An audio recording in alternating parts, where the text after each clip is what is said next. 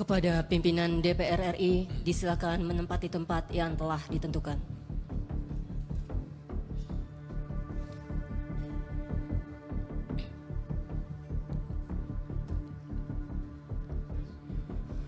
Petikan Keputusan Presiden Republik Indonesia nomor 21 garis miring P dan 23 garis miring P tahun 2024 tentang peresmian pengangkatan antar waktu anggota Dewan Perwakilan Rakyat dan anggota Majelis Permusyawaratan Rakyat sisa masa jabatan tahun 2019-2024 dengan rahmat Tuhan Yang Maha Esa Presiden Republik Indonesia menimbang dan seterusnya mengingat dan seterusnya memutuskan menetapkan keputusan Presiden tentang peresmian pengangkatan antar waktu anggota Dewan Perwakilan Rakyat dan anggota Majelis Permusyawaratan Rakyat sisa masa jabatan tahun 2019-2024. Kesatu, terhitung sejak saat pengucapan sumpah janji meresmikan pengangkatan antar waktu sebagai anggota Dewan Perwakilan Rakyat sampai dengan berakhirnya sisa masa jabatan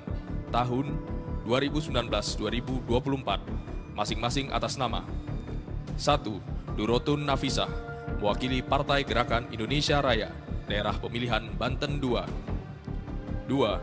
Ali Imron Bafadol mewakili Partai Gerakan Indonesia Raya daerah pemilihan Nusa Tenggara Barat 2 3. H. Syamsul Bahri R mewakili Partai Gerakan Indonesia Raya, daerah Kalimantan Selatan 1. 4. Hajah Jumriah, mewakili Partai Demokrasi Indonesia Perjuangan, daerah pemilihan Sulawesi Barat. Kedua dan seterusnya. Ketiga, keputusan Presiden ini mulai berlaku pada tanggal ditetapkan, salinan dan seterusnya.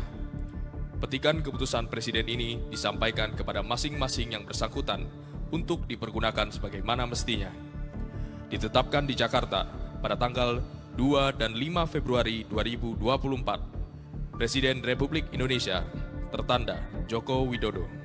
Persiapan pengucapan sumpah. Apakah saudara bersedia disumpah menurut agama masing-masing? Siap bersedia.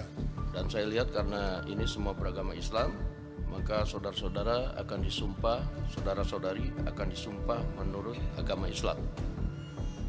Patut saya ingatkan bahwa sumpah yang akan saudara-saudari ucapkan mengandung tanggung jawab terhadap bangsa dan negara Republik Indonesia. Tanggung jawab memelihara dan menyelamatkan Pancasila dan Undang-Undang Dasar Negara Republik Indonesia tahun 1945. Sumpah ini adalah terhadap Tuhan Yang Maha Esa dan manusia yang harus ditepati dengan segala keikhlasan dan kejujuran. Saya harap saudara-saudara sadar dan mengikuti lafal sumpah yang akan saya pandu. Demi Allah saya bersumpah Demi Allah saya bersumpah bahwa saya bahwa saya. akan memenuhi kewajiban saya. Akan memenuhi kewajiban saya. Sebagai anggota Dewan Perwakilan Rakyat. Sebagai anggota Dewan Perwakilan Rakyat. Dengan sebaik-baiknya. Dengan sebaik-baiknya. Dan seadil-adilnya. Dan seadil-adilnya. Sesuai dengan peraturan perundang-undangan. Sesuai dengan peraturan perundang-undangan. Dengan berpedoman pada Pancasila. Dengan berpedoman kepada Pancasila. Dan Undang-Undang Dasar Negara Republik Indonesia tahun 1945 dan Undang-Undang Dasar Negara Republik Indonesia tahun 1945 bahwa saya bahwa saya dalam menjalankan kewajiban dalam menjalankan kewajiban akan bekerja dengan sungguh-sungguh. akan bekerja dengan sungguh-sungguh. Demi tegaknya kehidupan demokrasi. Demi tegaknya kehidupan demokrasi. Serta mengutamakan kepentingan bangsa dan negara. Serta mengutamakan kepentingan bangsa dan negara. Daripada kepentingan pribadi seseorang dan golongan daripada kepentingan pribadi seseorang dan golongan.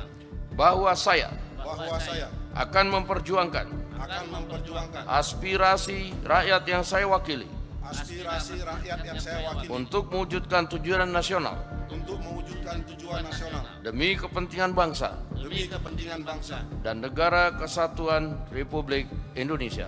dan negara kesatuan Republik Indonesia. Rohaniwan disilakan kembali ke tempat semula. Hadirin disilakan duduk kembali.